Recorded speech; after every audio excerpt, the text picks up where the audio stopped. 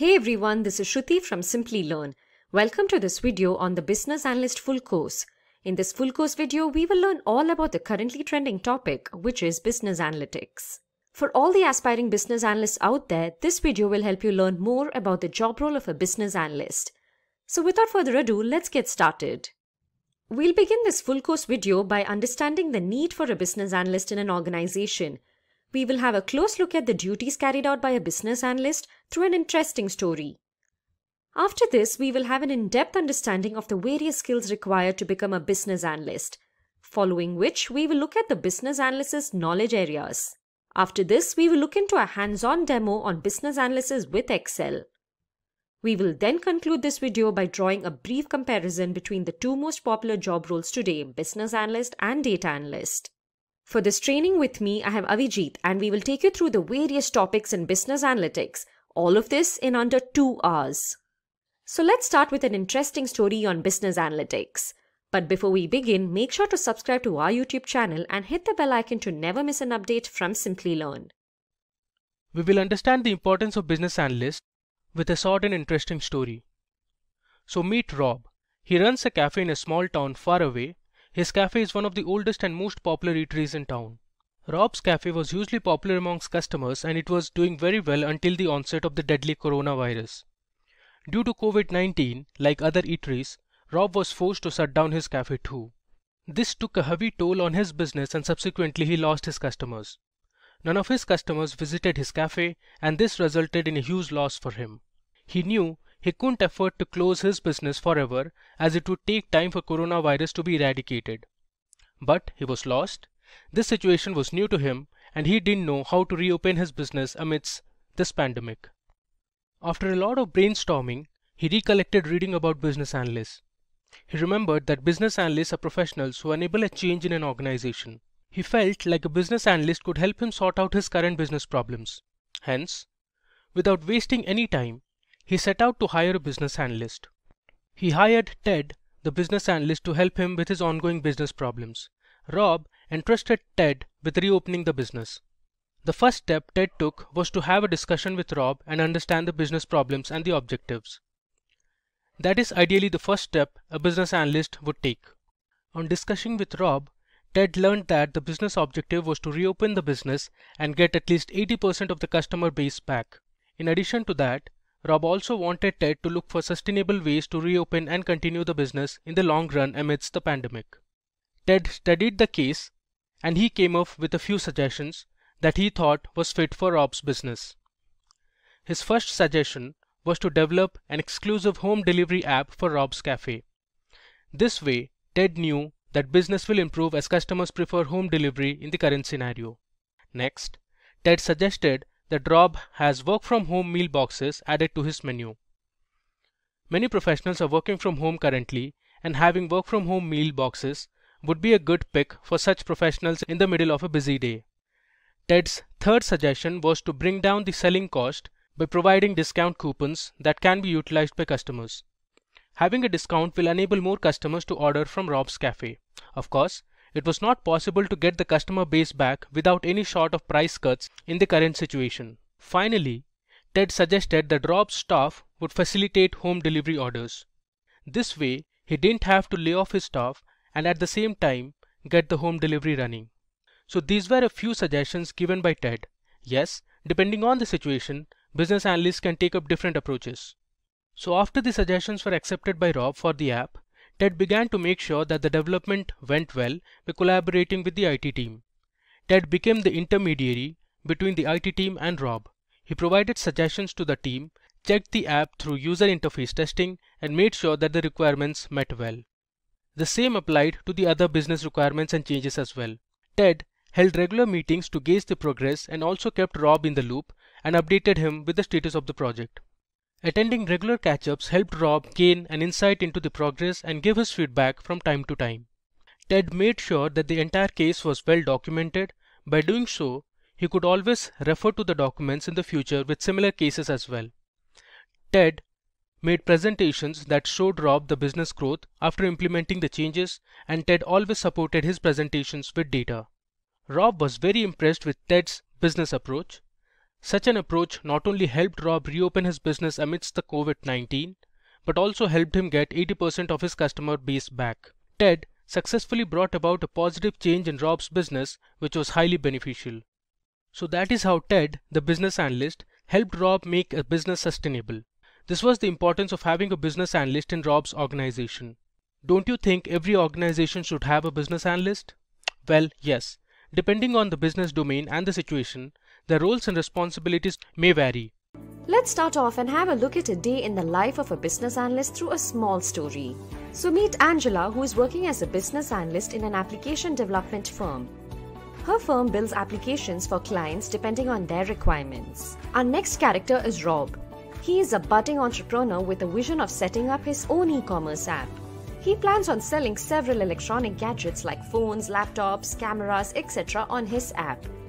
So what is Rob's first step? Well, he approaches Angela's firm one day with the vision of creating his e-commerce app. Angela and Rob start talking business and Angela promises to help Rob with his app creation. She assures him that she will look into his business requirements and coordinate with him to get the app running. Rob is happy about it and agrees to cooperate with Angela regarding all the business requirements from his end. Angela, as we know, is the business analyst. She starts planning Rob's project and without any delay, she embarks on this project's journey. She has a set of planned steps that will help her fulfill Rob's requirements. But what are the steps she takes? Is her approach going to be effective and quick? Let's find out the answers to these questions now. Up next, you can learn about Angela's approach that helps her deliver Rob's project smoothly and without any hassles. These steps that we are going to look at are the typical roles and responsibilities of a business analyst. Here, we will understand these roles better with respect to Angela's and Rob's story. First and foremost, Angela understands Rob's business objectives, problems, and requirements. Without understanding this, do you think Angela will be able to proceed? No. Hence, a business analyst like Angela understands the problems related to Rob's business and comes up with the right solution to achieve the goals of the business. She brainstorms around what is best suited for an e-commerce app focusing on electronic gadgets. In the next step, Angela gathers all the necessary requirements.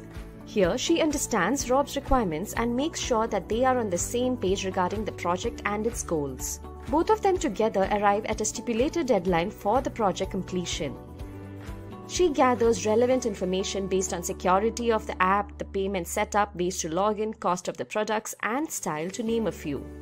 Once Angela has an in-depth understanding of Rob's project and gathers all the necessary requirements, she starts allocating resources by keeping in mind the budget of the project.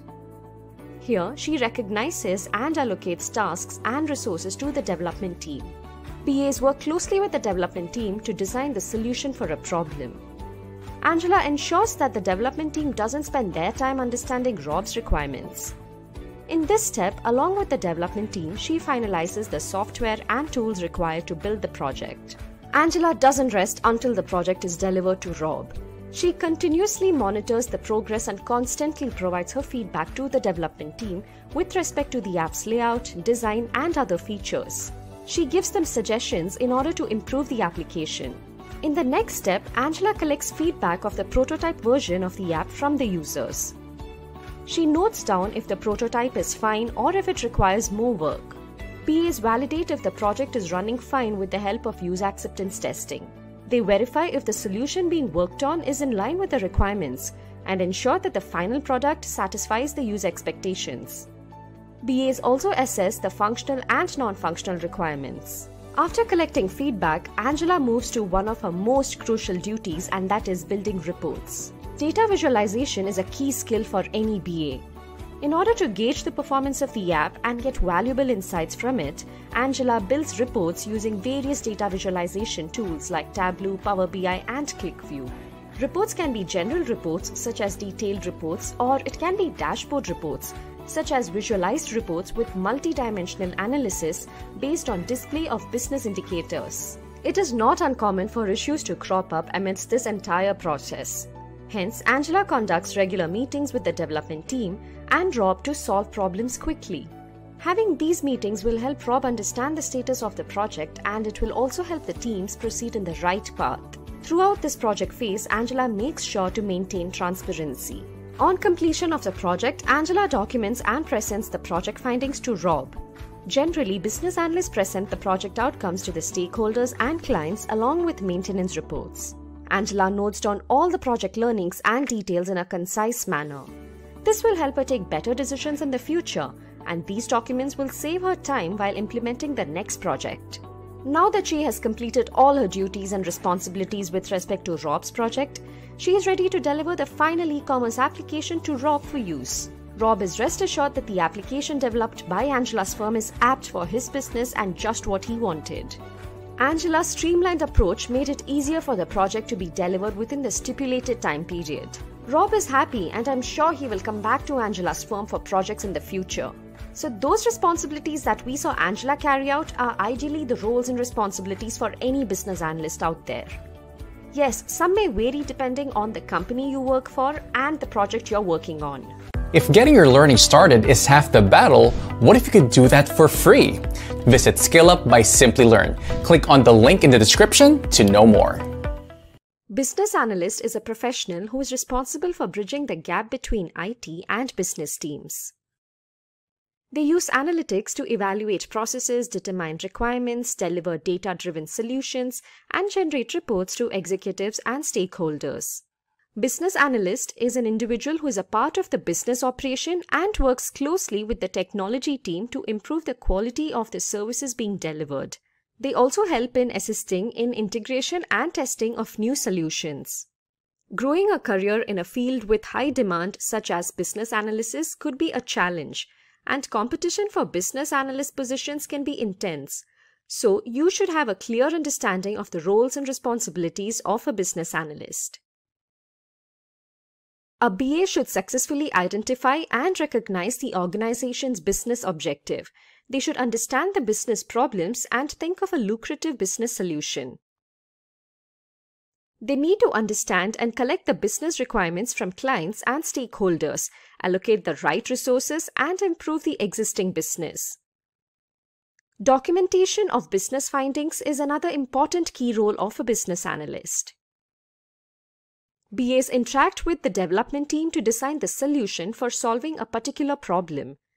They often need to spend a certain amount of time in meetings in order to save the development team from spending their time in understanding the stakeholders' requirement. They often give feedback on the layout of a software application as to what all features need to be added and what functionalities should the application contain, and also implement the newly designed features that a business needs. While BAs identify the needs, define the features, write use cases, uncover business rules, and manage issues, they should also gauge the functional and non-functional requirements in a business. Business analysts run meeting with stakeholders and other authorities.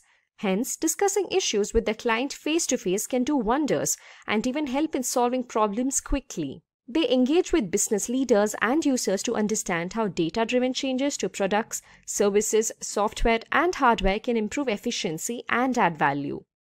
They verify and validate if the project is running well with the help of user acceptance testing and the solutions are in line with the client's requirements. They also ensure that the product delivered satisfies the user requirements. Finally, BAs write documentations and build visualizations to explain all the findings and draw business insights. They also deliver maintenance reports. They need to develop informative, coherent, and usable documents for the success of a project. Business analyst skills are a combination of technical as well as non-technical skills, often referred to as soft skills. The skills for a business analyst are not only acquired through training, but through experience and combined with the ability to understand situations and the motive behind the problem. So let's have a look at the top skills to become a successful business analyst. The first skill we have is understanding the business objective. For a business analyst, it is important to know the goals and objectives of the business. It is advised that business analysts should have a good knowledge of the business operations in his or her organization. A business analyst should understand the problems related to the business and come up with the right solution. Business analysts should resolve the problems that have been identified and not avoid them. They work on individual actions and tasks that will build towards the achievement of the goals of the business. Objectives of the business can be to expand customer base in order to increase sales, scale up production so that it is in line with the revenue growth, improve revenue streams through increasing perceived product value, or increasing marketing budget according to the revenue. Business analysts should have the natural curiosity and determination to continue learning and figuring out how things fit together. Even as business analysts become managers, it is important to stay in touch with the industry and its changes. The next important skill a business analyst should have is analytical and critical thinking. Now there is a famous quote by Thomas Alva Edison which says, 5% of the people think, 10% of the people think they think, and the other 85% would rather die than think. Business analysts are paid to think. A business analyst should be able to analyze and interpret the client's requirements clearly. Business analysts require good focus in order to collect and understand the needs of the client. Critical thinking involves evaluating several options before arriving at the desired solution. In certain situations, a stakeholder may give a requirement that's not necessarily tied up to any business value, but rather to their own increased convenience. Applying critical thinking demands not taking all the statements of the stakeholders for granted. Critical thinking allows the business analyst to distinguish between requirements that add value to the business and those that should be given a low priority. A business analyst must be creative in order to reach stated goals where resources are limited and the conditions are non-ideal. The third important skill for a business analyst is communication and interpersonal skills. Understanding and being properly understood is key to any profession. If you are unable to clearly specify and communicate requirements to any stakeholder, then you may not fully understand the requirements yourself. Being a business analyst is like being multilingual. You have to speak several different languages while conveying the same message. Business analysts apply communication skills at every point. They use communication and interpersonal skills when the project is launched, while gathering requirements, when collaborating with stakeholders, and also while validating the final solution. Listening, reading, and writing skills are very critical for a business analyst. They should be capable of facilitating meetings, Business analysts use verbal and written communication to convey ideas, concepts, facts, and opinions to a variety of stakeholders. Non-verbal communication skills enable the effective sending and receiving of messages, but not limited to body movement, posture, facial expressions, gestures, and eye contact. Effective listening allows the business analyst to accurately understand information that is being communicated verbally. Fourth in our list of skills, we have negotiation and cost benefit analysis. Being a successful business analyst requires working with and interacting with many people. These people include clients, business leaders, project team members, project stakeholders, vendors, private sector representatives, industry leaders, and so forth. Business analysts negotiate at every turn during the course of a project. At the initial stage of a project, Negotiation skills are used to determine what should be included in the vision of the project. As details emerge, negotiation skills are used by all parties involved to determine which requests become requirements and which requirements have higher priority. As the project progresses, negotiation skills help to determine the functional design which fulfill the requirements. Technical decisions also require negotiation skills. Business analysts also perform cost benefit analysis to conduct an assessment of the benefits and costs anticipated in a project. When organizations undertake new projects, it is advisable for business analysts that they use cost benefit analysis to establish whether such projects should be embarked or not. Business analysts should be able to achieve a profitable outcome for your company while finding a solution for the client that makes them happy. This balancing act demands the ability to influence a mutual solution and maintain professional relationship. Up next, we have our fifth skill that is decision making. The quality of decisions made by business analysts is what matters a lot because it has a direct impact on the company's business. Thus, it is important for every business analyst to think from all aspects before presenting their decision or strategy. They must be having good problem solving skills as well. Business analysts should have a knack to think out of the box and find a solution to problems. Majorly, a business analyst follows five major steps while making a decision. These steps are define the problem, find and define the alternative approaches, evaluate the alternative approaches, make the decision based on these approaches and test, and finally implement the solution. While some may argue that the technical team is responsible for designing the solution, the business analyst still remains instrumental in ensuring that the design conforms to the requirements that have been approved. Now that we have reached halfway through the skills, I would like to ask all our viewers to please subscribe to our channel and hit the bell icon to never miss an update from Simplilearn. Moving on, we have another really important business analyst skill that is idea about programming languages. Business analysts should have a good hands-on programming knowledge for performing better and faster analysis of data. Knowledge of R and Python is highly beneficial. Business analysts can help solve complex problems by writing efficient codes. Both R and Python have a vast collection of libraries and packages for data manipulation, data wrangling, data visualization, and data analytics. Some of these libraries are NumPy, Pandas, dplyr, tidyr, ggplot, and matplotlib. In addition to these, it is good to understand statistical software like SAS and SPSS. Using these programming languages such as Python, R, and SAS, you can analyze and visualize large datasets as well as create machine learning models for making future business predictions. The seventh skill in our list is creation of reports and dashboards. Now business analysts should be proficient in using various business intelligence tools for creating reports and dashboards. Reports created by business analysts can be general reports such as detail report, grouped report, cross-tab report, column report, query report, data entry report, etc. Or it can be dashboard reports such as visualized report with multi-dimensional analysis based on display of business indicators. Dashboard reports are developed by business analysts to solve business decision-making problems. Different from the tabular interface of the general report, the dashboard report adopts the canvas-like operation interface. Knowledge of Tableau, Power BI and QlikView are required to make different types of reports depending on the business requirements. Now the eighth skill in our list of skills is database and SQL. Business analysts often work with data that is structured in nature. Hence, to store and process this data, they should have knowledge of relational databases such as Microsoft SQL Server, Oracle Database, MySQL Database as well as NoSQL databases. Also, having hands-on experience with SQL is a must for a business analyst to access, retrieve, manipulate and analyze data. So they should be able to write data definition and data manipulation commands such as create, update, delete, and insert.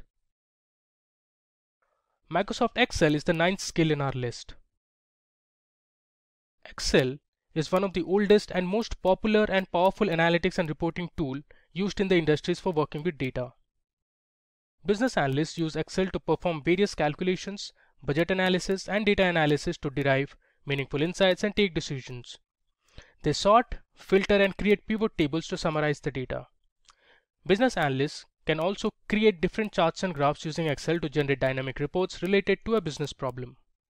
Business analysts can use Excel to create revenue growth models for new products based on new customer forecasts. When planning an editorial calendar for a website, business analysts can list out dates and topics in a spreadsheet. When creating a budget for a small product, they can list expense categories in a spreadsheet, update it monthly, and create a chart to show how close the product is to budget across each category. Business analysts can calculate customer discounts based on monthly purchase volume by product. They can even summarize customer revenue by product to find areas where to build strong customer relationships. And finally, in the list of skills we have documentation and presentation. You could have all the industry experience in the world, but if it's paired with poor business analyst practices, you could be more of a risk to the organization than a business analyst with no industry experience at all. A business analyst must be able to document their project learnings and results in a concise and compact form. They should also be confident about presenting their findings and conclusions in front of the stakeholders and clients. Organized documentation will help you communicate technical concepts to non-technical employees. It is important that a business analyst notes down all the details that they learn from their projects. This will help them take better decisions in the future. Also, if similar problems arise at a later stage, they can implement the same solution, thereby saving a lot of time and unwanted problems. While business analysts are generally not responsible for making decisions regarding project solutions, decision-making skills are still important for understanding, gathering and presenting relevant information to assist decision makers with selecting the optimal solution. With that, we have covered our top skills for a business analyst. If you have any questions related to the skills that we covered, then please put it in the chat section. Our team will help you solve your queries. Now, let me tell you how Simplilearn can help you grow your career in business analytics and help you become a business analyst. So let me search for Simplilearn here. This is the Simplilearn website and on the search bar let me look for business analyst you can see there are a few courses related to business analyst. So let me open these two courses. So let's go to the first course. So this is the business analyst masters program. Now this program is endorsed education provider is IIBA now if you look on the right we have the different courses that will be covered as part of this master's program so it, there is introduction to business analysis certified business analytics professional you'll also learn about agile and scrum.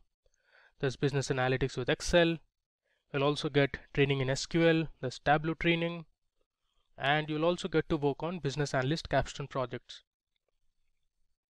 If i scroll down now here are the tools that will be covered as part of this course. So there's Microsoft Excel, Jira, Tableau, Power BI, PostgreSQL, then there's Planbox, Target Process and others. Here you can see the program advisors and if I scroll further this is the entire course content we have.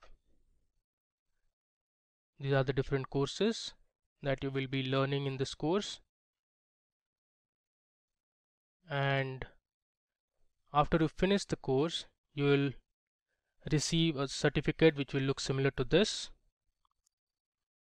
so please go ahead and enroll to this course if you want to start your career in business analytics now let me take you to another program we have postgraduate program in business analysis now this is in partnership with Purdue University and endorsed education provider is IIBA.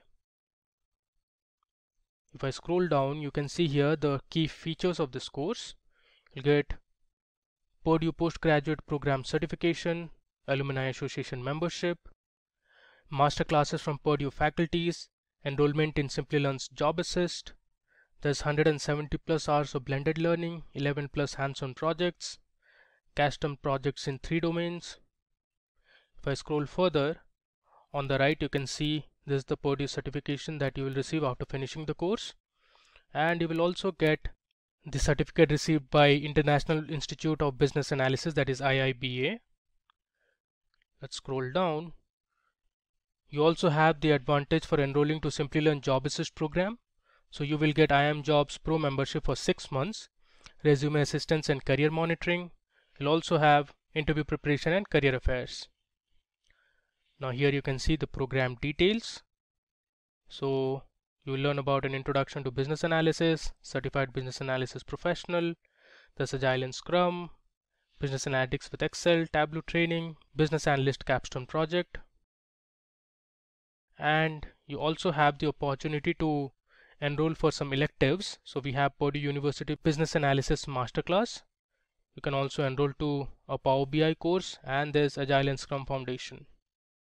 If I scroll down, here you can see the skills that will be covered as part of this program. So there's business analysis, there's elicitation and collaboration, requirement analysis, planning and monitoring. Let me click on view more. You have strategy analysis, dashboarding, wireframing, there's data visualization, statistical analysis using Excel, SQL database, there's requirement lifecycle management and lots more. So these are the tools that will be covered in this course. We have Microsoft Excel, Jira, FogBugz, Planbox, that's Rally, Power BI, PostgreSQL, that's version 1, target process and others. And now this is the important part. These are the industry related projects that you will get to work on once you enroll to this course. So the first project is canteen ordering system for Unilever we also have library management system for Stanford University. There's WhatsApp Pay and you can see the description of these projects mentioned below and you also have hospital management system for Mayo Clinic. They are our course advisors for this course. Now they are directly related to Purdue University.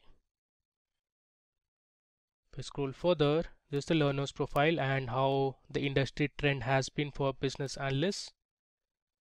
So please go ahead and enroll to this program if you really want to start your career or you want to grow your career as a business analyst. Now here is a quick roadmap that depicts what a fresher needs to possess to become a business analyst. First, they need to have a graduation degree in a related field. Then, knowledge of SQL and relational database is very important. Thirdly, a fresher should have good hands-on experience with programming languages and that's a prerequisite. And finally, they need to have good communication skills to nail the role of a business analyst. Up next, we have the roadmap that depicts what an experienced professional needs to possess to become a business analyst. Firstly, they should have good knowledge of the domain they're currently working in.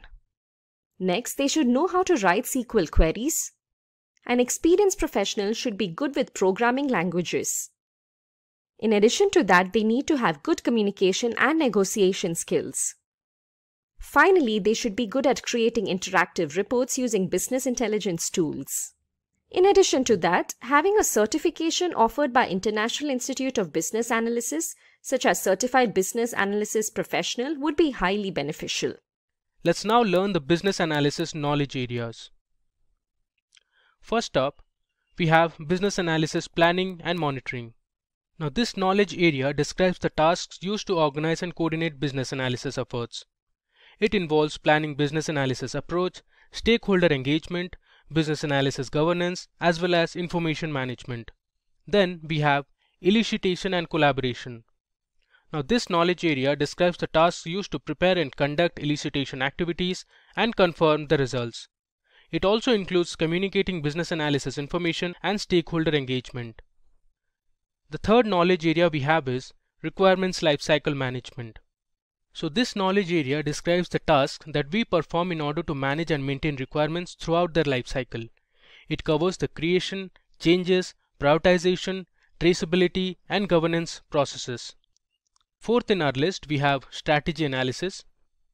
Now this knowledge area describes the tasks used to identify the business need, address that need, and align the change strategy within the enterprise.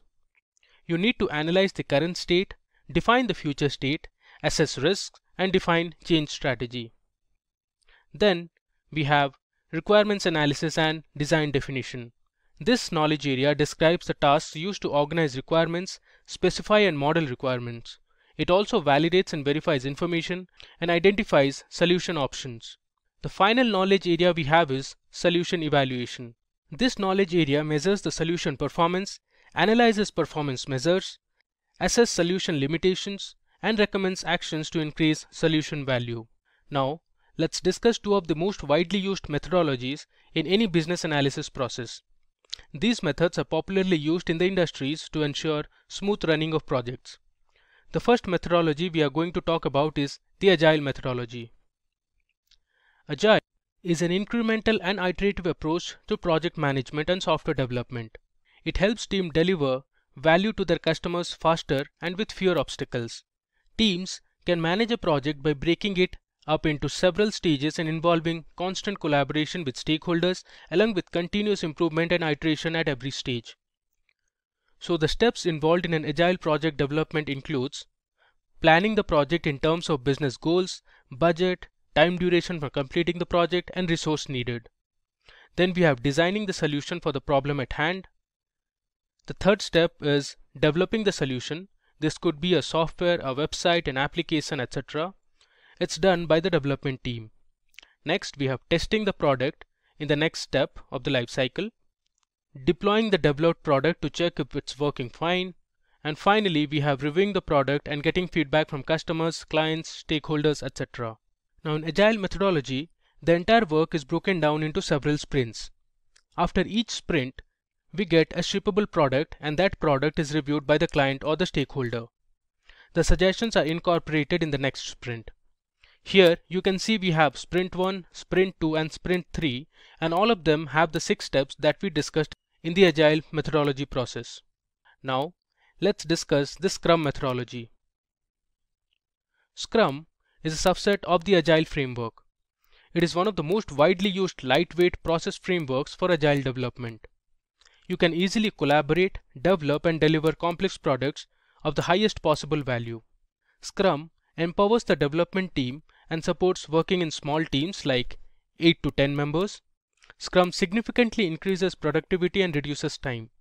This process enables organizations to adjust smoothly to rapidly changing requirements and produce a product that meets evolving business goals. Okay, so the concepts and practices in Scrum can be divided into three categories. First, we have three roles. A product owner owns the product backlog and writes user stories and acceptance criteria. They are responsible for prioritizing the product backlog and deciding the release date and the content. A product owner is the one who is responsible for the return on investment or ROI of the product. A Scrum Master is a servant who encourages and demands self-organization from the development team. They enable close cooperation across all roles and functions, addresses resource issues, and disobedience of Scrum practices. A development team comprises individuals working together to develop and deliver the requested and committed product increments. The development team builds the product and includes all the expertise necessary to deliver the potential shippable product each sprint. The second category comprises of three artifacts. The product backlog is an ordered list of the features and requirements needed to complete the project. The list can include bugs or defects that need to be resolved, features that must be added, and other technical or project work your team has to complete before the project is over. The sprint backlog includes only what needs to be completed during the current sprint. It often has greater detail and more complete user stories than the rest of the product backlog.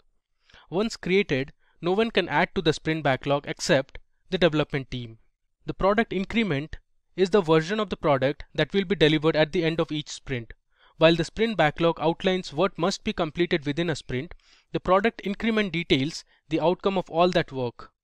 The increment is a prototype or working version of the final product expected by the customer. The final category we have is sprint ceremonies. There are four ceremonies in total. In sprint planning, the team meets and decides what they need to complete in the coming sprint. Sprint review is a type of meeting in which the team demonstrates what they shipped in the sprint. In the sprint retrospective, the team reviews their work, identifying what they did well and what didn't go as planned so that they can make the next sprint better. Daily Scrum is a stand-up meeting or a very short like 15 to 20 minutes meeting for the team to make sure that they are all on the same page. Now, let's talk about the average annual salary of a business analyst. According to PayScale, the average annual salary of a business analyst in the United States is $68,973, while in India, a business analyst can earn nearly 6 lakh rupees per annum. Now talking about the companies hiring for business analysts, we have the Indian e-commerce payment system and financial technology company Paytm, American MNC Cognizant, and British Dutch multinational oil and gas company Shell. We also have Cisco, the search engine giant Google, and Dell. Finally, in our list of companies, we have Ernst & Young Global Limited, American multinational computer technology corporation Oracle, and British multinational investment bank and financial services company Barclays. With that, let's discuss the top business analysis tools and software used by business analysts. We have the widely used spreadsheet application Microsoft Excel, web-based Kanban style list making application Trello, relational database management systems such as MySQL, Microsoft SQL Server, and PostgreSQL. Then we have bug tracking and agile project management product Jira and Tableau software for data visualization. Okay, so let's look at our demo on business analyst training. Oftentimes, business analysts work on structured data using Excel to prepare reports and dashboards. They do create pivot tables and pivot charts to summarize and analyze data, find trends and insights to make critical decisions. So in this demo, we will work on a sales dataset from the United States and analyze the total revenue, total profit, the quantity sold for different categories and subcategories of products across various regions, segments, cities, etc. Now let me show you the dataset first. Okay, so here is my data set. You can see there are nearly 9994 rows and we have 17 columns. You can see this is a sales data set and the first column is of order date. Then we have the shipment date, we have the shipment mode. Next we have the customer name that is the customer who purchased the product. We have the segment, the country name, is only United States. Then we have the different cities from the US, we have the state names, and if I go to the right you can see the categories of product. We also have the subcategories. Next we have the product name. Then we have our sales value. Now you can assume this to be in dollars. Then we have the quantity that was sold for each product. Then we have the discount column. And finally we have the profit column so let's analyze this data set using different charts and graphs first Let's create a pivot table to see the sales by region and year. So here we want to see the sales of all the years in different regions of the United States. So for that, I'll click on any cell inside this dataset, go to the Insert tab, and here I have the option to create a pivot table. I'll click on this Create Pivot Table option, and you can see it has selected my entire data. And here I'll choose New Worksheet, that is the place where I want to place this pivot table and let's click on OK. So you can see it has created a new sheet which is sheet 2 and let's drag our columns onto the different sections in this pivot table fields. So since I want to know the region and the year so let's drag the order date first and let's delete the quarter column. So I'll click on remove field. I don't want this field so I have my years first. And then let's drag region column under columns. And we want to know the sales for all the years in different regions. So I'll drag sales onto values you can see here we have our pivot table ready. If you want you can go ahead and rename these row labels and column labels. Now with this table ready let's create a line chart. This will help you analyze your data better. So what you can do is go to the insert tab and here under recommended charts you can go for line chart. You can see the line chart preview here and click on OK. There you go. How easily Excel has created a pivot chart for us based on this pivot table. Now if you notice the lines in this graph, you can see the different regions and here is the legend. Now if you see the yellow line, which is actually for the west region, so the sales had declined from 2014 to 2015 and then it gradually started increasing from 2015 to 2017 onwards. And if you see the orange line or the red line it is for the east region. The sales have been continuously increasing. You can see the trend here. Similarly if you see the central region the sales generated was steady from 2014 till 2015 then it increased in 2016 and after 2016 it became constant Similarly, you can analyze the south region as well.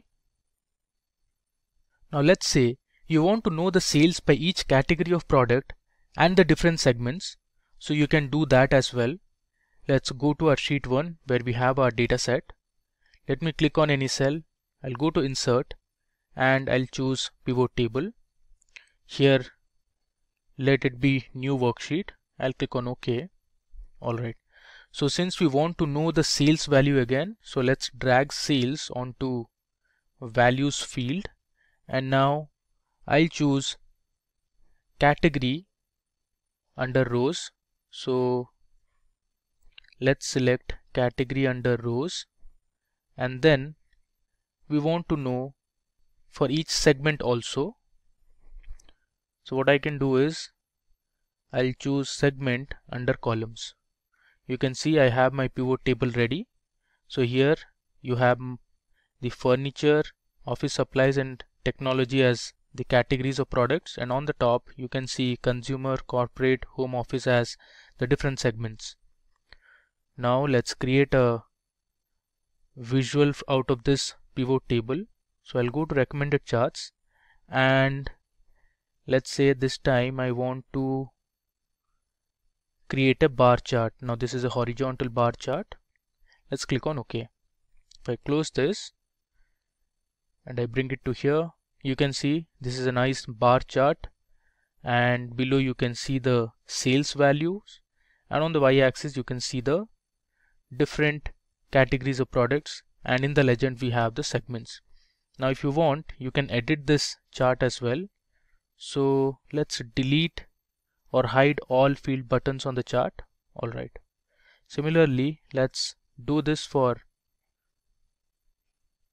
our line chart as well. Let's hide these field buttons. Okay. Alright now let's suppose you want to know which segment made the highest and the lowest profits. So for that you can create a pivot table as well.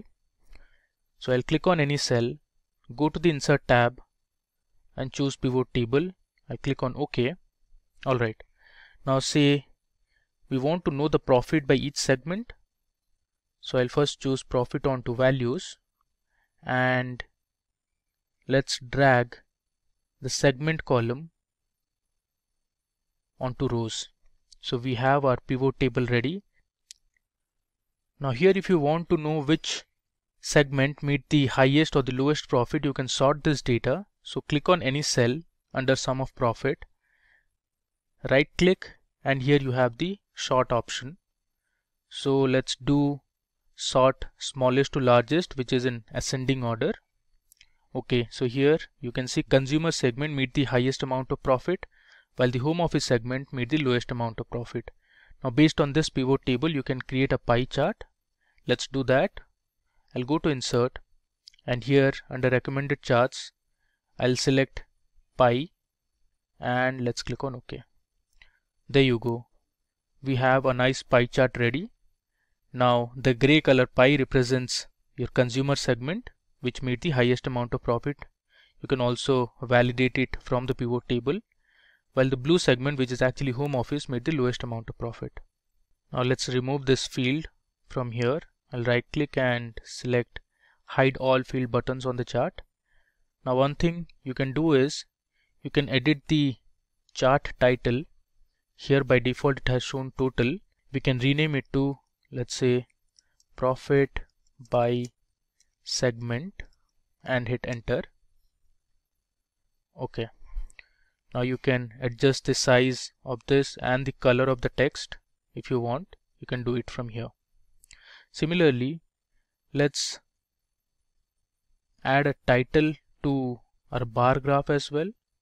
So here if you see there's an option to choose chart title and I'll say sales by segment and category. Okay. Similarly, let's add a title to our first line chart that we created. I'll click on the chart title and here I'll write sales by year and region. Okay. Now let me go back to my data sheet. Now suppose let's say you want to know the total units that were sold for each subcategory of products and the shipment mode. So here we have the shipment mode and you want to know the total units that were sold which is basically this column the quantity column. For each subcategories of product you can see we have different subcategories like bookcases the chairs labels the tables furnishings art phones binders etc so let's create a pivot table for this. I'll go to the insert tab click on pivot table and click on OK Alright. Now, since we want to know the total units that were sold, let's drag the quantity column under values and I'll choose the ship mode field under columns and let's select subcategory under rows. So I have my pivot table ready. Now based on this pivot table, let's create a line chart. I'll go to the insert tab, click on recommended charts and let's go to line chart. Alright, you can see the preview here and the legends which show the shipment mode. Let's click on OK. I'll close this. Now first let's remove these fields. I'll right click and I'll hide all field buttons. Now if you say this one, you can add some styles to your chart. Let's modify our chart a bit. Let's say I'll select yeah this one. You can see it has given dots for each endpoints which means this is my first subcategory. As you can see the second subcategory uh, the third subcategory which is art. Then we have binders. So it's really easy to read and understand the chart well okay. Now let's add a chart title. I'll write quantity sold by subcategory and ship mode. Now you can reduce the size of the chart title text. Let's keep it 10 okay now you also have the feature to create different kinds of maps in Excel. So suppose you want to see the states that made the highest and the lowest sales in the United States. So you can create a filled map for that. So first of all let's go to our data sheet. I'll click on any cell go to insert and create a pivot table. I'll click on OK. Alright so since we want the state and the country so let me first drag country field under rows and then I'll choose the state field under rows. Now let's drag sales under values. Okay so we have our pivot table ready. Now if I sort this data you can easily know that California state made the highest amount of sales. Now if I scroll down below you can see North Dakota made the lowest amount of sales. Now let's do one thing. Let's remove the grand total. So you can go to the design tab and under grand totals you can select the first option. You can see the grand total has gone. And in order to create a map we need to adjust this pivot table. So I'll click on United States. I'll right click and I'll go to field settings. Here under layout and print I'll click on show item labels in tabular format.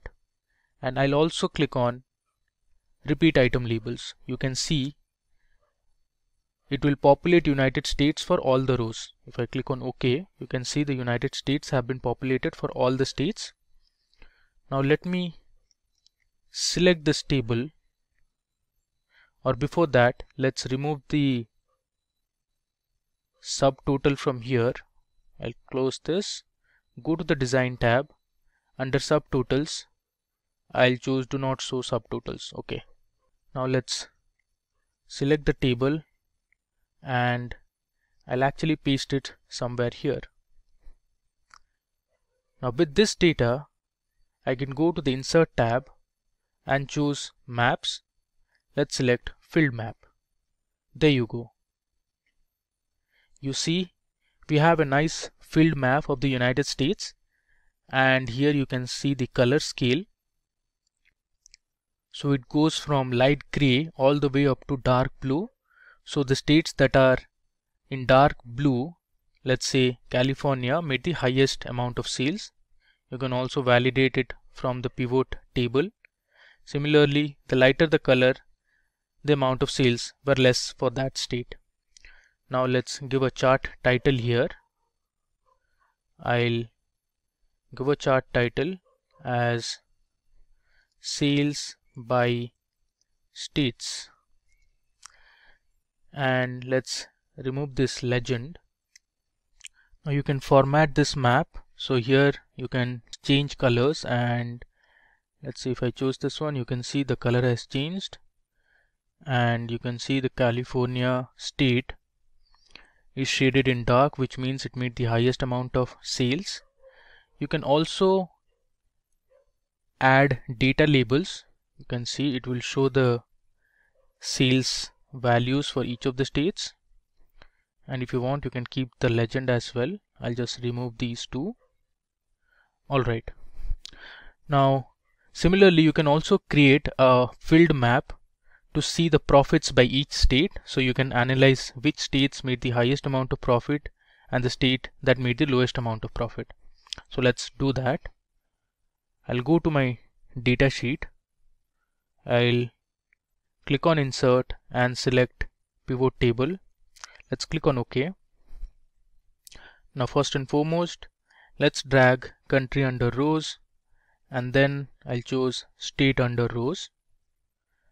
Next let's drag the profit column under values. So I have my pivot table ready. Let's go to the design tab and remove the subtotals. I'll select do not show subtotals. If I scroll down okay I have my grand total now. So let's go to the design tab. Under grand totals we'll remove it. Okay. Now let's just populate the United States which is the country name for all the rows. I'll right click on United States go to field settings click on layout and print.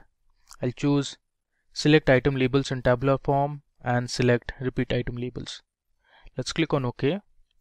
So I have my country name populated throughout let's select the pivot table. I'll paste it somewhere here. And now let's go to the insert tab. I'll choose map. Let's select filled map. There you go. Now we have the profits for each of the states. Let's first delete this and edit our chart title which is profit by states. Okay. Let's close this. Let's say we'll use this one now. Okay. Let's edit the color of the chart title. I'll make it as white. And let's say will choose the color as say this one. Okay. Now let me go ahead and remove the legend here and just delete it. Alright so we have our filled map ready which shows profit by each state. Now that we are done with our analysis and creating our different pivot tables and pivot charts, let's build the final dashboard. So let's create a new sheet here. Okay. The first thing I need to do is I'll go to the view tab and I'll remove the grid lines. Alright. Now let's go to the insert tab and here we have text. Let me choose text box. Let's create a text box here okay now you can reduce the size actually. Let's reduce it. Okay. And you can move it to the top. Alright let's pull this a little down and this to little right. Let's fill the text box color with blue color and let's give the text as sales dashboard. And we'll give a white color to the text. And I'll select my font. You can select any font you want. So I'll go with let's say Britannic bold. Okay we have it here. And let's increase the size to 30 and we'll center align it. Alright. Now the next step is to bring all our pivot charts to this dashboard sheet.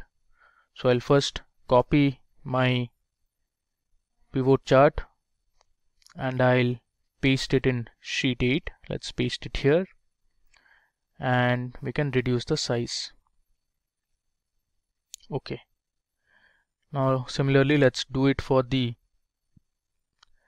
other charts as well. I'll copy this and let's paste it somewhere here. Okay. Now let me just reduce the size. And if you want you can reduce the chart title font size as well. Let's make it 11 okay. And let's drag this a bit. Alright now let's copy the pie chart. And let me paste it here.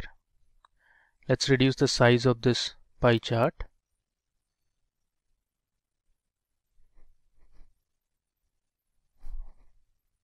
Okay. See we have our pie chart here.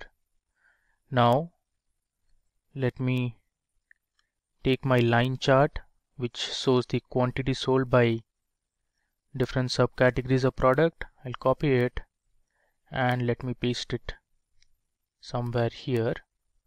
I'll close this. Now we need to reduce the size so that we can fit in our other charts as well.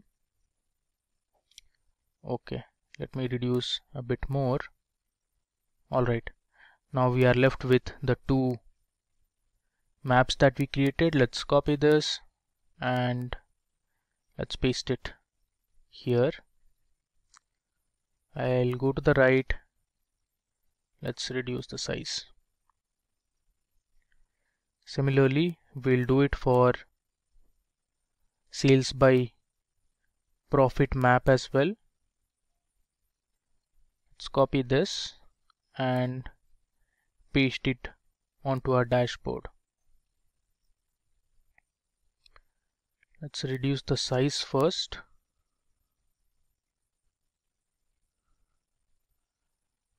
And let's increase it towards the bottom. So we have our dashboard ready. You can see the different pivot charts that we created.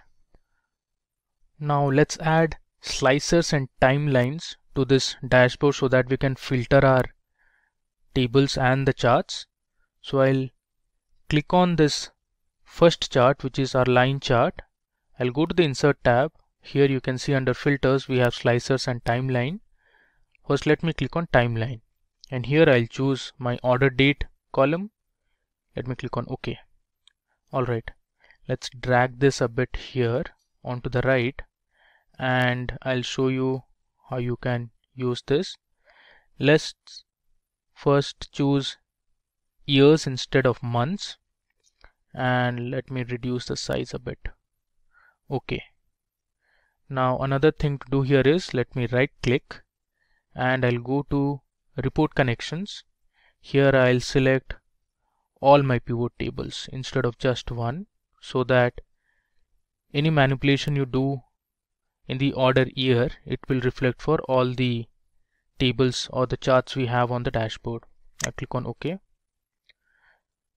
now that we have seen how to add a timeline I'll reduce this a bit.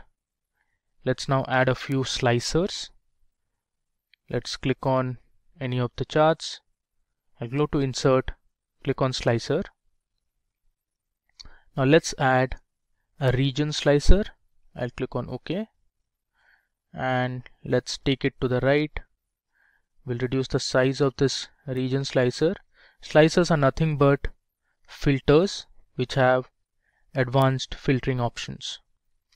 And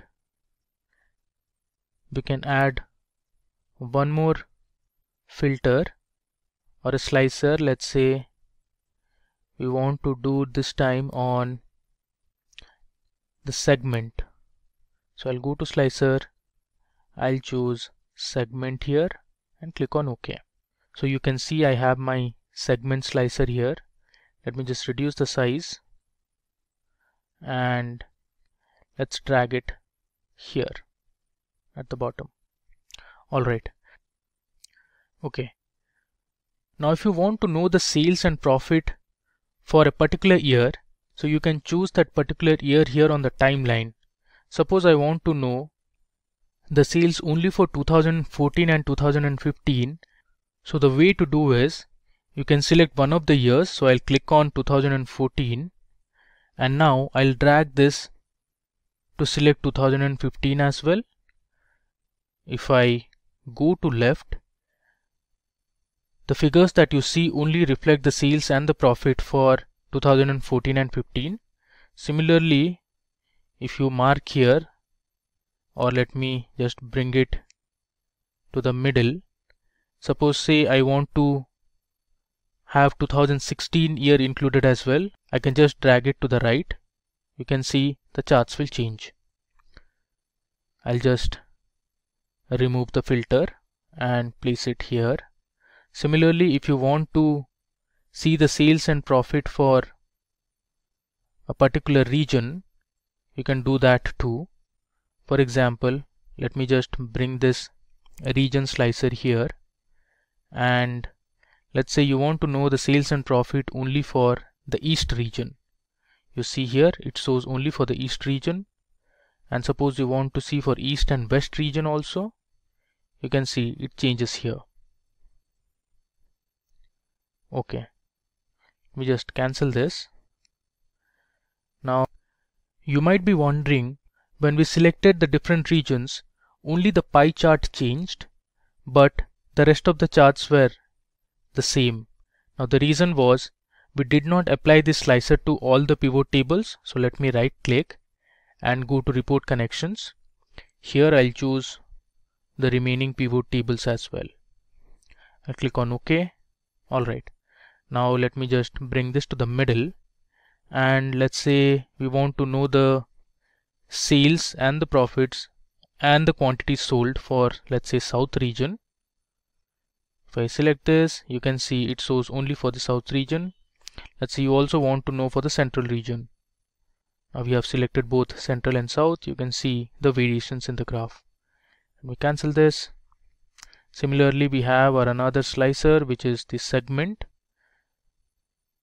I'll populate the slicer for all the other pivot tables.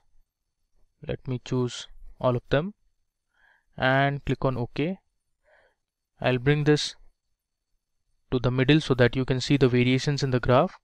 Let's say I want to know the sales the unit sold and the profit for home office segment so I'll only select home office. You can see the variations here. Now the slicers actually don't work for the maps so you can't see any change here. Now suppose you want to know for the corporate segment you can select corporate or if you want to select for multiple segments you can do that as well. Just cancel this and let me place it here. Alright now we are done with our demo. So if you want to get a copy of the dataset and the demo file that we are using here in this video you can put your email IDs in the comment section. Our team will send you the files over email. We'll compare the two most popular job roles in the field of information technology, that is, business analyst versus data analyst. Business analyst is a professional who bridges the gap between the IT and the business teams in an organization. They use data analytics and modern technologies to assess processes and deliver data driven solutions. They understand and solve a business problem and validate business requirements. A business analyst generates reports for executives and stakeholders. They are part of the business operation and work closely with the technology team to improve the quality of the services being delivered. They also assist in the integration and testing of new solutions. Now let's talk about the job description of a data analyst. With the rapid increase in data generation today, the term data analyst has found its prominence.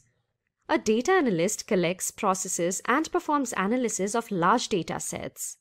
Every business generates data in several formats, this data can be in the form of customer information and feedback, log files, transaction data, marketing research, and so on.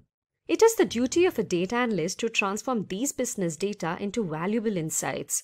Some of the problems that can be addressed are how to improve a business, how to provide good customer experience, what would be the ideal price for a new product, how to reduce transportation costs, and so on. Data analysts deal with data handling, data modeling, and reporting. With this brief understanding of the job description for a business analyst and a data analyst, let's now shift our focus towards the various responsibilities of a business analyst. A business analyst identifies the business goals, understands the problems faced by an organization, and comes up with a cost effective solution to tackle the issues. They thoroughly understand the requirements from the clients and assign the right resources. BAs communicate and work closely with the development team to design the solution for a problem. They ensure that the development team doesn't spend their time understanding the stakeholders' requirements and often give iterative feedback on the solution being developed.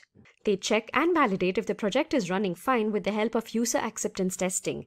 They also verify if the solution being worked on is in line with the requirements and ensure that the final product satisfies the user expectations. BAs assess the functional and non-functional requirements. A business analyst documents the project findings and results. They present the project conclusions to the stakeholders and clients along with delivering maintenance reports and building visualizations to make decisions. Now, let's take a look at the responsibilities of a data analyst. First and foremost, a data analyst must identify and understand the organization's goal and requirements. This helps to plan and streamline the analysis process. Data analysts collect data from various heterogeneous sources. They assess the available resources, comprehend the business problem, and gather the right data for analysis. They work closely with different team members like programmers, business analysts, and data scientists. Data filtering and data wrangling are vital jobs of a data analyst. The data collected is often noisy and it contains missing values. Hence, it is crucial to clean the collected data and remove invalid values to make it ready for analysis. They use a variety of analytical, statistical, and business intelligence tools to spot trends and patterns in complex data sets, discover hidden insights, and prepare summary reports for the leadership team. They also use programming languages for data mining and data manipulation. Now it's time for us to understand the difference between a business analyst and a data analyst based on the skill set they possess. First, let's look at the skills that can help you become a BA. A business analyst should have a graduation degree in any relevant field such as business, accounting, information systems, human resources, or engineering. You can apply for entry-level business analyst positions or with professional experience. Excel is a powerful analytics and reporting tool for working with data. BAs use Excel to perform various calculations, data analysis, plan an editorial calendar, and calculate customer discounts to derive meaningful insights and take decisions. BAs use SQL to retrieve, manipulate, and analyze data stored in relational databases. Critical thinking skills are important to understand customers' business needs. It allows them to distinguish between requirements that add value to the business and those that should be given a lower priority. BAs should find different ways to address each challenge. Data visualization is a key skill for BAs to build interactive dashboards and reports to convey the outcomes of a project. Knowledge of Tableau, Power BI, and QlikView is required to make different types of reports depending on the business requirements. Business analysts should have a good hands-on programming experience to solve complex tasks and perform faster analysis of data. Hence, knowledge of programming languages such as R and Python is a prerequisite. Finally, they should have good presentation skills. They should also be confident about their findings and conclusions and communicate it in front of the stakeholders and clients. Let's now understand the skills that a data analyst should possess. You must have a bachelor's degree in any relevant field or be a graduate in statistics, economics, or science. You're eligible to become a data analyst being a fresher or as an experienced professional you should have domain knowledge in the field you are working in. Once again, knowledge of Excel is another basic requirement for a data analyst. Data analysts often work with structured data, so they should be proficient in writing SQL queries using data manipulation and data definition commands. They should know how to create stored procedures. Another crucial skill for a data analyst is to have hands-on experience with programming languages such as Python, R, SAS, and JavaScript. You can analyze and visualize large data sets and create predictive models for making business decisions. Data analysts create data visualizations using libraries such as Matplotlib, Seaborn, ggplot, and Plotly. This helps them to perform exploratory data analysis. Knowledge of Tableau and Power BI is required to create different business reports with the help of graphs and charts. Data analysts should have knowledge of machine learning algorithms to build sophisticated models and make future predictions. So they should know about linear regression, logistic regression, support vector machines, k-mean clustering, and other supervised and unsupervised learning algorithms. Finally, data analysts should also possess good communication and presentation skills. Now, let's discuss the salary structure for both of these job roles. According to PayScale, a business analyst in the United States earns an average salary of $69,000, while in India you can earn nearly 6 lakh rupees per annum. Now, talking about the salary of a data analyst, according to PayScale, in the US, a data analyst earns an average salary of $60,710 per annum. And in India, you can earn around 4 lakhs 24,000 rupees per annum. Let's now move on and look at the different companies hiring for business analyst roles. Here we have Oracle, the search engine giant Google, the American MNC Cognizant, and e-commerce company Amazon. In addition to that, we have Ernst & Young, technology giant IBM, Dell, and Cisco hiring business analysts. Talking about the companies hiring for data analysts, we have Twitter, Google, the social media leader Facebook, and Amazon. We also have the American oil company Shell, the electric vehicle company Tesla, Apple, and the American credit reporting agency Equifax. Now, choosing the right field, that is, to become a business analyst or a data analyst, could be a challenging task. The key points that you have to keep in mind before making a decision is First, review your background and see what qualifications you have. Check what skills you possess and the domain knowledge you have. Then, gauge your interest to see what suits you best. And finally, consider your long term goals and see the job roles that will help you grow in your career in the long run. Now, let me tell you how Simplilearn can help you grow your career as a business analyst and a data analyst. Simplilearn offers a postgraduate program in business analysis that is in collaboration with Purdue University. The endorsed education provider is IIBA.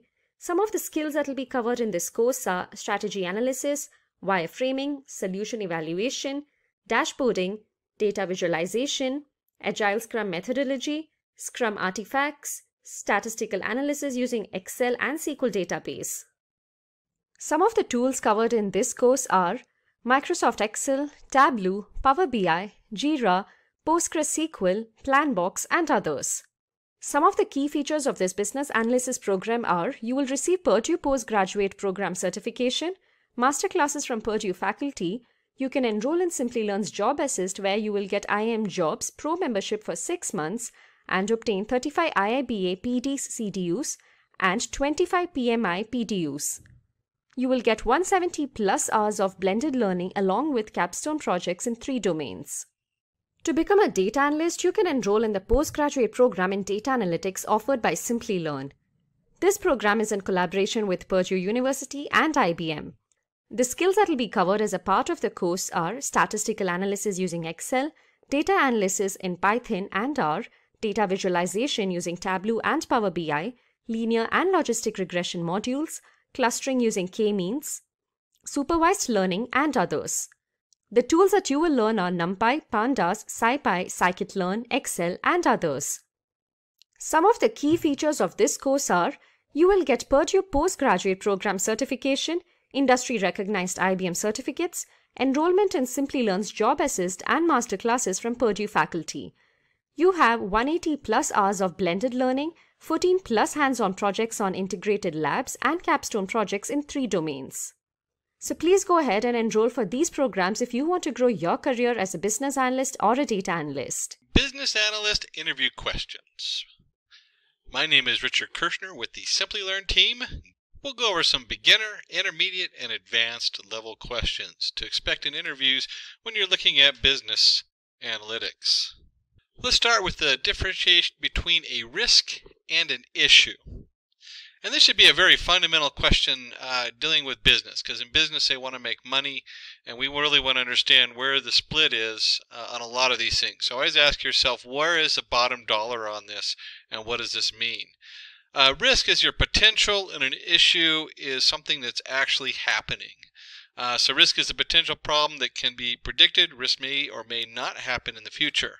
A proactive response plan is formulated and kept ready to mitigate risks. So these are things you plan for. And the issue refers to a risk that is occurring or about to happen. There is no response plan in place to solve an issue. You can only respond reactively to an issue. What are the various tools a business analyst works on? This is very um, company specific. And so when you start looking for work, you start going in for interviews, you should start really asking yourself, what are these companies looking for that I'm interested in? Clearly, if you work with IBM, you want to have your tools that are central to IBM and the IBM setup. Same thing with Google, um, with you know just across the whole field. Uh, some of the more basic ones, um, obviously an Excel spreadsheet, which isn't on this list, uh, but your Python, your SQL, you should really know your SQL because it's going to come up in no matter what format you're in. Uh, your Tableau, your Azure, your Balsamiq, all these are different platforms. There's a lot more out there, but you should be aware on which platforms your proficiencies are on. And those also that you might not be proficient on, but you at least know what they do and what their performance is. So you can answer questions, and uh, a lot of companies will pay for you to be certified if their platform isn't on your list. What are the various stages of a business project? And we look at uh, project initiation, project planning, project execution, project control and monitoring, project closure. And it's really important to understand any one of these in a little bit more detail than just knowing the list. What is feasibility study? A feasibility study is a method of gauging the success rate of proposed business solution. It enables business analysts to discover new business opportunities. And uh, really, a lot of businesses, when they're looking at it for a business analyst, this is really what they want to know. What's the feasibility? Uh, that is a very central question that comes up in most business plans. What's the feasibility of doing something and getting it done? What is business model analysis? Business model analysis is a technique that helps you analyze if a business is financially, economically, and socially viable or not.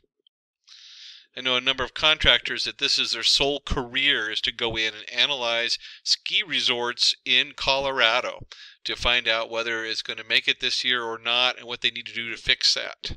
Uh, so it's a very high-end job niche where you really need to know your stuff and understand what it means. What do you understand by requirement? Differentiate between requirements and needs. We look at requirements. A requirement is a targeted solution that is required to achieve the set business objectives. Business requirements are data used for business processes. Needs. Needs are the high level representation of the terms and the result. Business needs include identifying and comprehending the business's goals and articulating its strategic direction. And you can think of needs are what do we need to succeed? Requirements are, well, these are the things we need to put into place. This is what's required to achieve a business objective. Suppose you have been given a list of zip um, pin codes from different countries. Using those codes, find the city and the state names using Excel.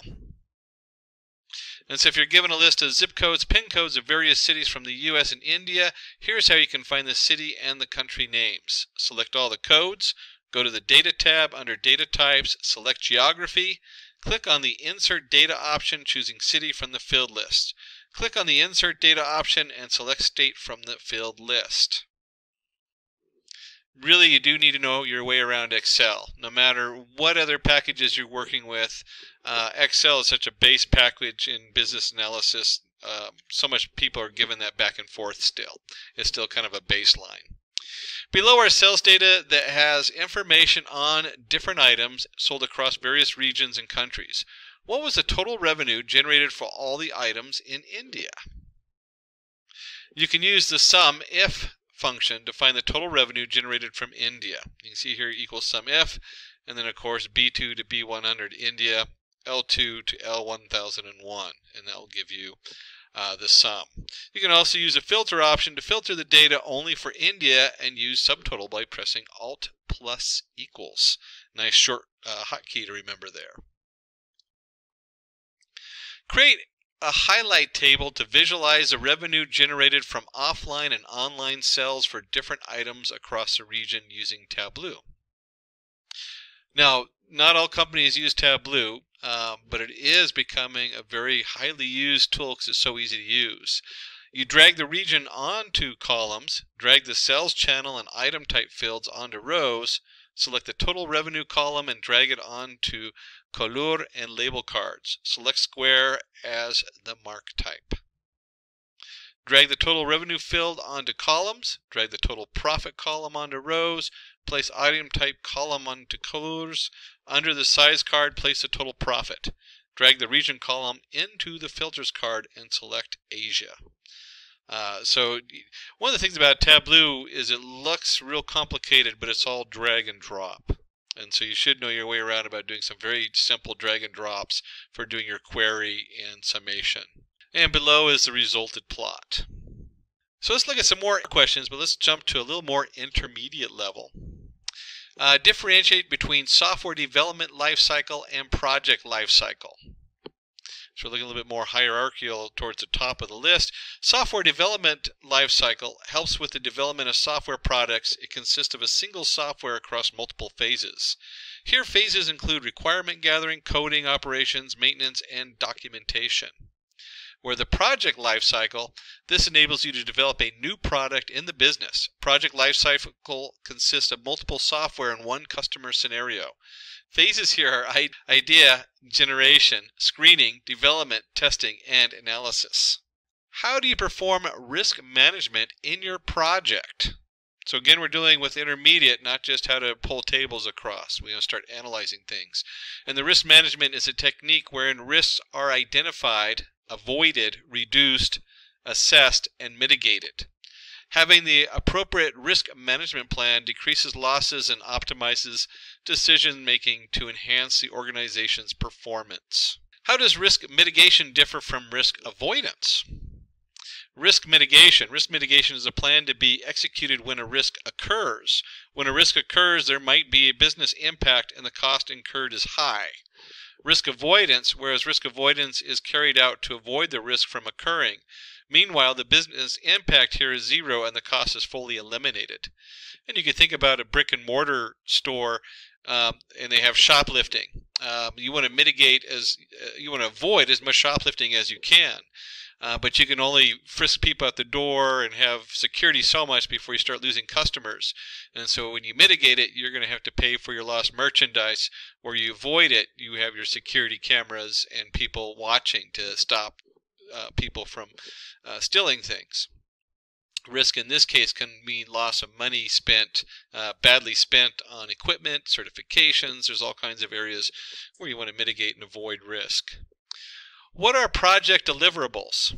Project deliverables represent a collection of measurable services and goods that are to be delivered to the end user in the project completion stage. This is so important we start talking about any of our, um, uh, uh, when you sign a contract, any of our online contracts, cloud computing, all of that, make sure you're very clear what the deliverables are, who owns it, who is the responsibility of the service, and the security around it. Those are all very important questions to know. Differentiate between the agile and waterfall model. Uh, two of our biggest or most uh, basic models used today. The agile model, which is slowly taken over, especially in software. Uh, the agile model is adaptable to requirement changes and has an incremental approach.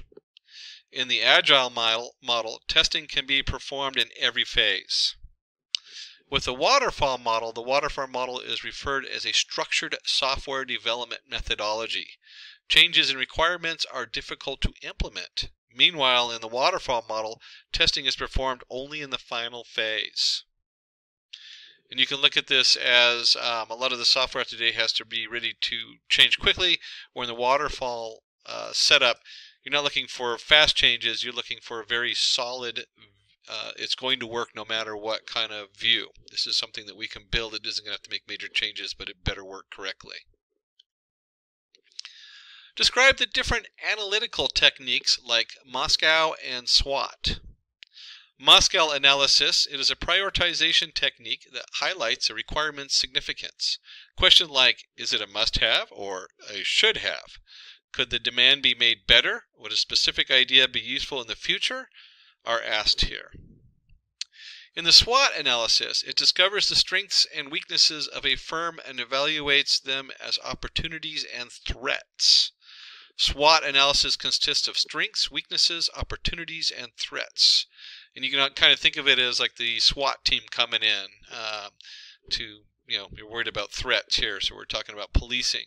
Or in MoSCoW, really what is um, what can we get out of this? You know is, is this do we have to have it to succeed?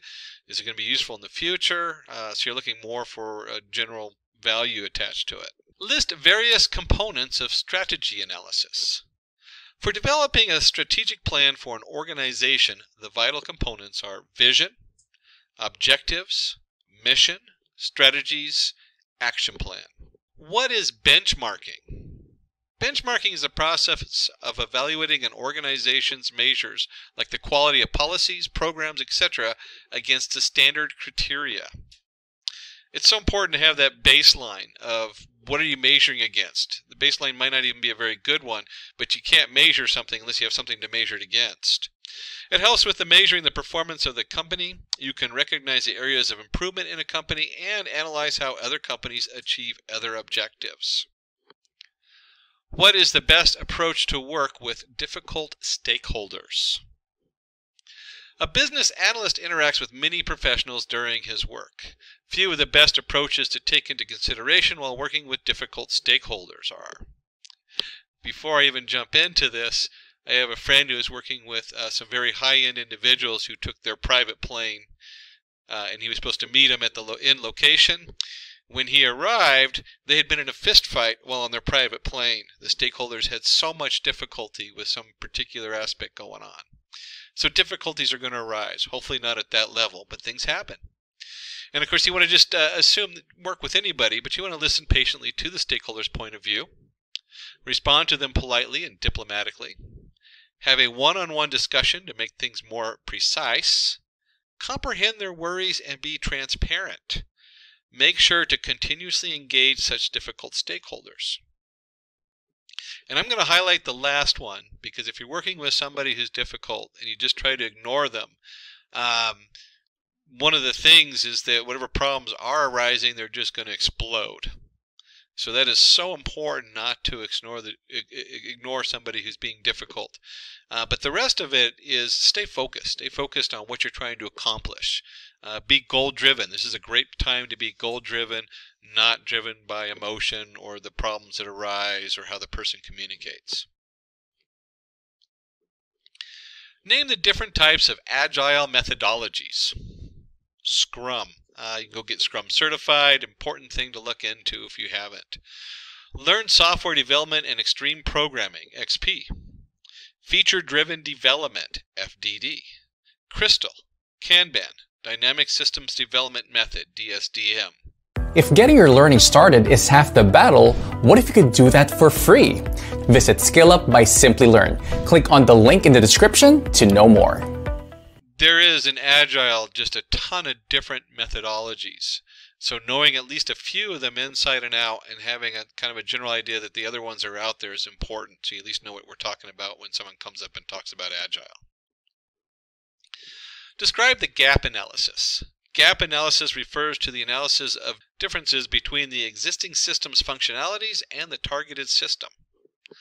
The gap indicates the amount of work required to get the intended result. Gap analysis is a comparison between the current and proposed functionalities.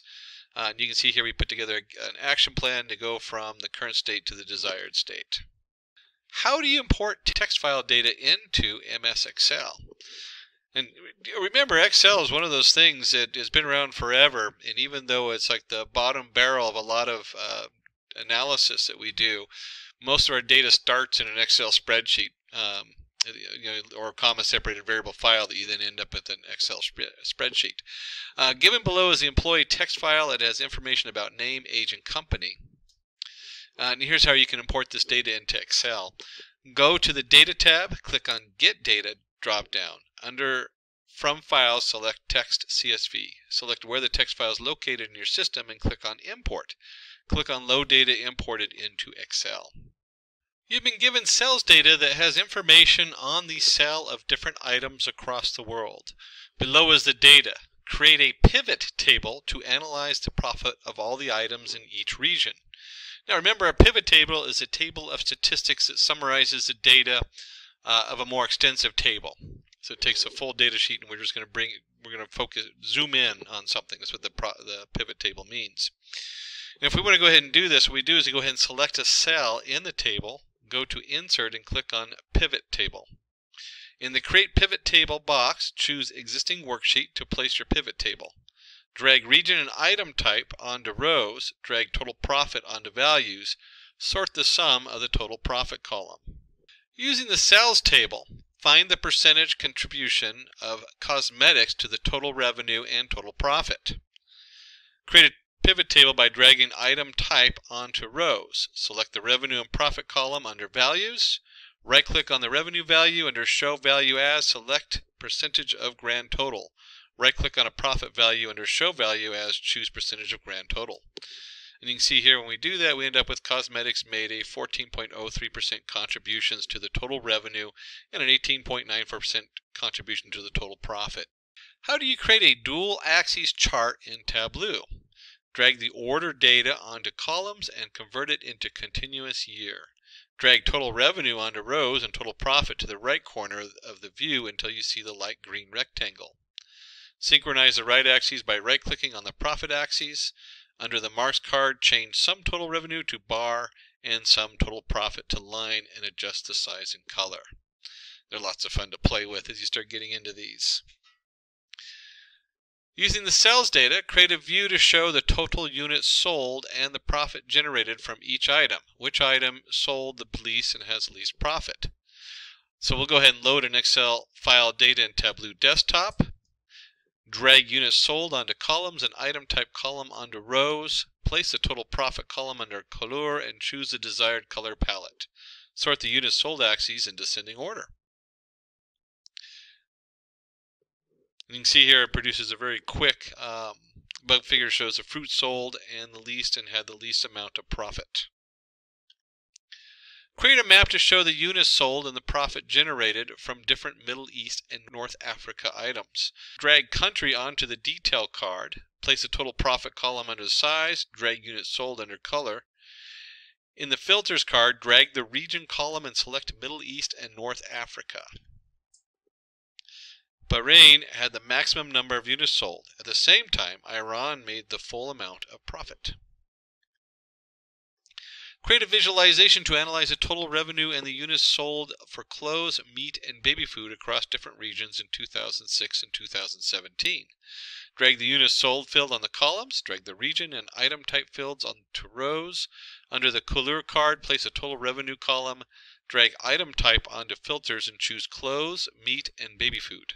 Drag the order date column onto filters and select 2016 and 2017 meat had the highest units sold and made the maximum profit. Now with any of these Tableau, it's good if you have your own hands on for this. Um, so it, that's an important thing to note. We kind of zoomed in on Tableau. Again, there's a lot of other companies out there using a lot of other packages. So if you're not familiar with Tableau, but you're able to do this in another package, uh, that's a good thing. So at least you know what we're talking about and you've had that hands on. Let's go ahead and jump to some advanced level questions. What is requirement prioritization? Name the different techniques used for it. Requirements prioritization focuses on allocating requirements depending on the business urgencies. This is essential for the project to run well. Requirement prioritization enables various teams to understand what is important and work in sync with the business needs. There are several techniques used for requirement prioritization. We had MoSCoW technique, we mentioned that earlier. The requirements are grouped based on must, mandatory, should, high priority, could, not necessary but preferred, and would, suggested for the future. Ranking method. Here you give each requirement a distinct numerical value based on its importance. And of course, this is at 100. Um, well, here's kind of similar to ranking is the $100 method. Multiple stakeholders get a no, uh, notional $100 to distribute among the requirements. So the $100 method is pretty similar to what the ranking method is. Top 10 requirements. In this approach, from a large set, the stakeholders simply pick their top 10 requirements. This is very popular. Um, there's a lot of help books out there about getting things done. They say write everything that you want to accomplish um, put them on three by five cards and narrow it down to five. Do those five. Because once you've conquered those five, then you can move on to the next ones. Name the critical agile metrics that should be considered by a business analyst. Sprint burn down. Uh, so the sprint burn down is the chart we use when you're tracking. Usually it's in Scrum, is where that usually comes from, the Scrum uh, setup. Uh, but it's a chart of uh, the work to be completed and what's still going on. Uh, you have your work category allocation, the velocity, the cumulative flow diagram, defect removal awareness, time coverage, defect resolution time. Explain BPMN. BPMN, Business Process Model and Notation, Gateway controls the flow of interaction and sequence of processes. It is a flowchart technique which models the end-to-end -end business process step. The four essential elements of BPMN are flow objects, events, activities, gateways, connecting objects, sequence, messages, associations, swim lanes, pool or lane, artifacts, data object, group annotation. List the elicitation techniques. The elicitation process is about gathering requirements from users and stakeholders. Listed below are a few techniques that are used to collaborate with users or clients. Interviews. Uh, I don't know how many times I've been on the phone calling uh, competition, um, potential clients to ask questions. Uh, so one of the elicitation techniques is to ask questions. If you're going to call clients to ask questions, it can a lot of terms also turn into additional sales. Document analysis, focus group, prototyping, brainstorming. My favorite, brainstorming. Um, all these are important. I, I just kind of highlight a few of them that I tend to get stuck in. Observations and workshops. Uh, again, workshops are a great sales technique also. So as you're doing your business analysis, and you're bringing people into a workshop and do observations in the workshop and working specifically with these people, they turn into potential business growth. Um, I tell you what, if you're a shareholder and someone's doing a business analysis and they turn around and uh, generate a $30,000 sale for your company, um, they're in. You know, you've already earned your you've already earned your pay, and you're doing what you like, which is business analysis. Interface analysis, questionnaire and survey. Uh, questionnaire and surveys, is my least favorite, but they are the most popular because they're the easiest to pump out. List the documents needed by a business analyst. Initiation document, project vision document, use cases, system requirements, specifications document, business requirement document, requirements traceability matrix, functional requirement document, use case specifications document, gap analyst document.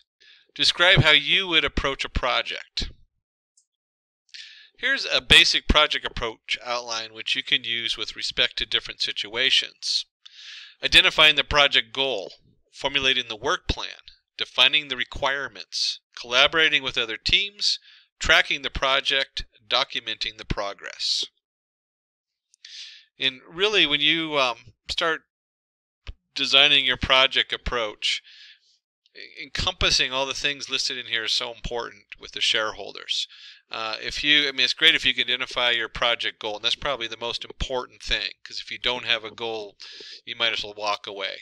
Um, but if you don't have the rest, uh, well, how are you formulating the work plan, defining the requirements, um, collaborating with other teams?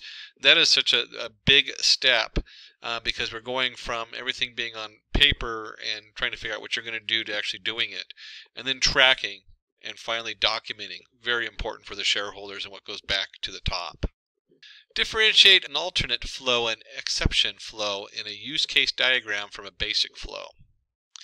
Basic flow represents the operation of activities as required by the company. In a use case, alternate flow, as the name suggests, is an alternate solution used in a system failure case. Different steps are used to complete the goals of a use cases. Exception flow refers to the various steps executed in case of errors. This does not lead to achieving the required goal of a use case. Critical aspects of creating analytical reporting. Analytical reporting is a type of business reporting which provides data analysis, information, and recommendations. It enables people to use data to make decisions. To create analytical reporting, the following points should be kept in mind. Comprehend business analysis. Display your analysis skills. Think critically. And I'm going to throw in here uh, the term from big data, map and reduce. Uh, really, when we're doing a business analysis, you don't want to give them a massive amount of information. You want to reduce it down to something that they can see in a single graph, uh, a very simple set of notes. Um, and you need to think critically. You need to really make it uh, what is it that the shareholders want that's going to make them understand why this is important to the business and what does the business get out of it. What is Kanban? Kanban helps agile teams in visually managing work through processes. It works as a scheduling system in agile just in time production. The Kanban methodology is all about real time communication of capacity and full transparency of work. The Kanban board describes the current development status. And of course, when you're working with Kanban, you got to be very careful about uh, uh, inspiring versus coaching versus micromanaging it really can end up in a micromanaging setup where you want to you want to watch out for that, but you also need to track everything. A basic Kanban board has three-step workflow. It has the to-do, in progress, and done. However, depending on a team size, structure, and objectives, the workflow can be mapped to meet any particular team's unique process.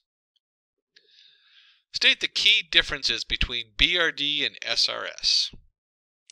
BRD, Business Requirements Documents, is a high-level functional specification of software. BRD is a formal document to describe the requirement provided by the client. Business analysts create this post their interaction with the clients. SRS, System Requirement Specification, is a high-level functional and technical specification of software. SRS describes the software's functions and non-functional requirements that are needed to be developed, whereas SRS is created by the systems architects.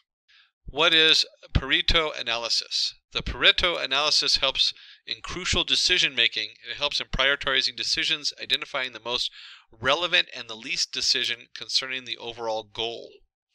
It is also known as the 80-20 rule. As per this rule, 82% of the project's benefit arises from 20% of the work. Vice versa, 80% of the case problem can be due to 20% of the causes. Differentiate between the V model and the fish model. When we talk about the V model, it is an SDLC model where the execution of processes happens sequentially in a V shape. At every stage, the same person reviews, but other testers will do software testing in the last step. V model consumes less time and costs. The fish model is similar to the V model, but with more multiple verification teams. Every stage is tested by another team for completeness and correctness. The fish model is comparatively very costly and time consuming which makes sense because if you have uh, multiple tests on each stage from multiple teams, they have to all be spun up on it. And so you're literally more than doubling the work because you also have to track all that. Given the sales data, create a chart to show each region's country that made the highest revenue. Create a pivot table by dragging the region and country onto rows. Place the total revenue column under values. Right click on the country value, select the filter options and choose top 10. Choose top 1 as shown above and click on OK. And you can see here is the pivot table that you will get. Using the sales data, find all the countries where the total units of fruits sold offline were less than 3,000. You need to use an advanced filter option in Microsoft Excel to solve this problem. Below is a critical based on the question we have. Go to the Data tab, select Advanced Filter option, choose Copy to another location, give your criteria range and the copy to location. Click on OK. Here's the final result as we can see below. Let's create a pivot table to find which countries from each region made the lowest amount profit. Create a pivot table by dragging the region and the country into rows. Place the profit column under values. Right click on any country value, select the filter option and choose top 10. Choose bottom one and click on OK. Let's create a filled map to analyze the total revenue and profit generated from beverages in North America using Tableau. Drag country onto detail card, place the total revenue column under the text, drag total profit under color. In the filters card, drag the region column and select North America. In the filters card, drag the item type column and select beverages. And you can see from the below map, you can see the Greenland and the maximum revenue and profit generated from beverages in North America. Who knew? Using Tableau, how will you display the top 5 and bottom 5 items based on profit? Drag the item type field onto rows and total profit onto columns. Right-click on the item type column to create a set. Give a name to the set and select the top tab to choose the top 5 items by sum total profit.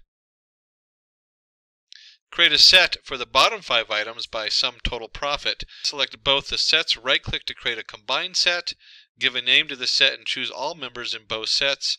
Drag the new set on the filters and the total profit onto couleur. The above graph depicts the cosmetics made the highest profit while fruits made the lowest. And really, when we're talking about tools like Tableau, um, or if you're targeting companies working in R, or you're targeting companies working in Python, you should be able to quickly do these kind of displays in any of those packages that you're focused on. Uh, Tableau is one of the biggest ones out there right now because it is a paid for service, but it's also um, very robust and easy to use and uses less programming on the back end. Uh, so just a quick side note on there, roll your sleeves up. If you if this does not look right to you, you're not able to get through some of these things, make sure you are if that's what you're targeting in a company for an interview. And with that, we have come to the end of this video on Business Analyst Full Course. I hope it was informative and interesting. If you have any questions about the topics covered in this video, please ask away in the comment section below. Our team will help you solve your queries. Thanks for watching, stay safe and keep learning. Hi there, if you like this video, subscribe to the Simplilearn YouTube channel and click here to watch similar videos. To nerd up and get certified, click here.